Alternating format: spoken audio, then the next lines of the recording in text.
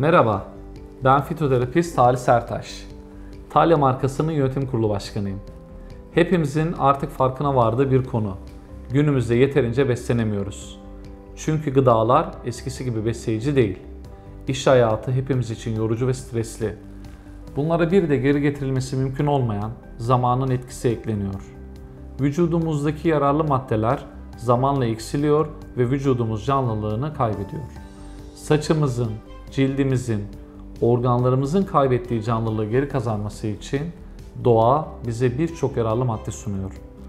Bugün şifalı bir yağ olan lavanta yağından bahsedeceğiz. Diğer çiçekler arasından kokusuyla sıyrılan lavanta yağı, antik Roma ve Yunan banyo ritüellerinin baş tacıydı. Zaten lavanta sözcüğünün Latince yıkamak, temizlenmek ve berraklaşmak anlamına gelen lavare sözcüğünden geldiği düşünülmektedir.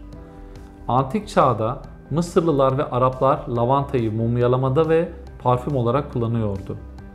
Bildiğiniz üzere lavanta yağı tatlı aromalı kokusuyla kötü kokuları bastırabilir.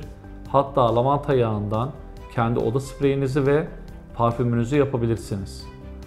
Aynı zamanda lavanta yağının solunması alerjik hava yolu iltihabını bastırmaya ve bronşiyel astımın tedavisine de yardımcı olur.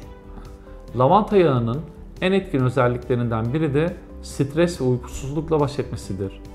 Gece yatmadan önce yastık kılıfına birkaç damla lavanta yağı damlatmanız daha iyi bir uyku çekmenizi sağlar.